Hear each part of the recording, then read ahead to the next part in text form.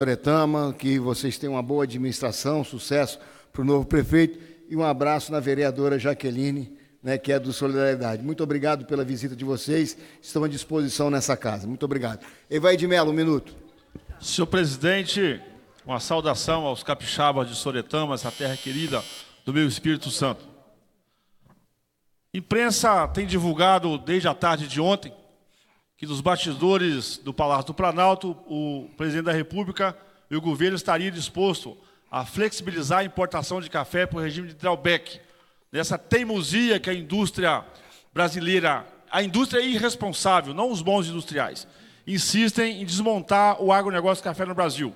Quero deixar registrado que não procede essa informação. O presidente da República, por inúmeras oportunidades nos últimos dias, tem já manifestado o seu repúdio na direção da importação de café. As fontes que estão divulgando essa informação não se identificam, são fontes falaciosas, e continuaremos atentos aqui na luta, nobre presidente, para defendermos a cafeitura brasileira. E não procede a informação dada, eu preciso de confiar na palavra do presidente da República, que o processo de importação está encerrado nos bastidores desse governo, não só para encerrar, presidente, não está sendo tratado desse assunto. Por, por, por, isso, a informação que o governo estuda a hipótese de liberar o drawback é mentirosa, é falaciosa, são pessoas que estão infiltradas no governo, dando essa informação sem nenhuma referência.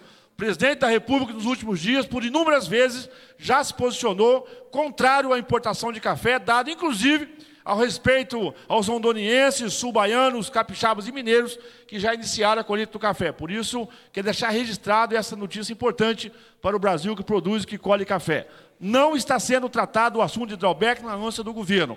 Lobistas, pessoas contratadas para tratar desse tema estão infiltrados aqui em Brasília. Mas dentro do governo esse tema não está andando. Muito obrigado, senhor presidente. Muito obrigado, deputado Iveio de Mello. Nós estamos atentos. Acho que as pessoas deveriam ter mais responsabilidade